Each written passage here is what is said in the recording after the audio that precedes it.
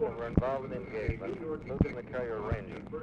Their planned track took them up the Tonkin Gulf, actually, in a northwesterly direction.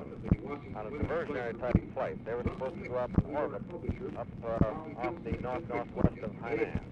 At no time did their course take them closer than uh, approximately 35 miles from the island. The navigation was actually accomplished by TACAN, which, sir, is a radio beacon type of navigation system uh, on the carrier that fixes the aircraft position with very fine accuracy. So they actually had a firm fix of 36 miles off the island when they had the first knowledge that the fighters were closing. At that time, the MiG fighters were about 25 miles from them at an altitude of 32,000 feet. They're out. Uh, actually, uh, a few short minutes later from this, they actually had visual contact with the fighters, and that's where the engagement started, was at that particular time, where they were actually at least 35 miles off the island. It looks like the fighters came, Chicom, came right off the island, right out and intercepted them. At that point, uh, we still don't have the exact tracks of where they all went. There's a possibility that it could have gone over Hainan, but we're not sure of that yet at this time. Uh, it's possible that it, did, it never did go over Hainan. We're not sure. However, we know that, uh, that there was quite an engagement because uh, the aircraft that was lost finally was firing his last missile. That was when he was uh, last heard was when he was firing his missile. And then uh, they had no more video contact with him, and of course he wasn't visually observed.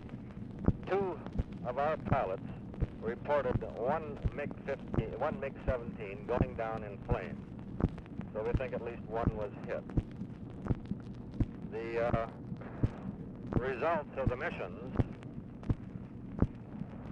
and by the way, sir, on the second mission we lost an A-4 aircraft, which is a Navy aircraft, that was hit during the attack on the railroad and highway bridge. The pilot was rescued from this. He bailed off out just offshore and was picked up uninjured by a helicopter. They had no direct hit on the bridge. However, they did crater the road and railroad approaches. The Air Force mission, we have a report verbal that uh, it was successful on the railroad and on the highway bridge they attacked, and we lost no aircraft on that. And that's the report currently as of now, sir.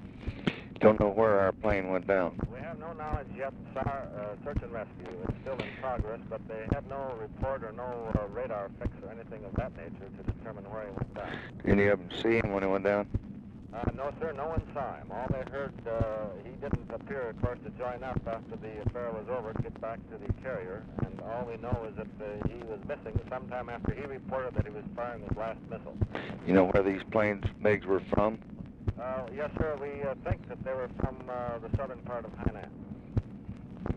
Anything else? No, sir. That's all I have. Thank you.